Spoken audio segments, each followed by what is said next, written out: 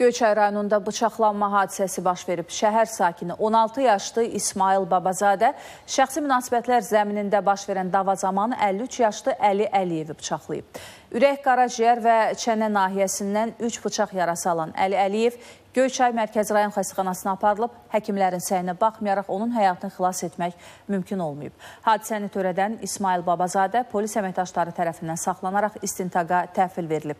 Faktla bağlı Göyçay rayon prokurorluğunda araşdırma aparılır. Tək yaşayan adam idi.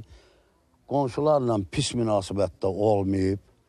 Yəni belə tüfeyli həyat sürməyib. Düz qapının ağzında, öz qapısının ağzında nədən düşüb bilmirik.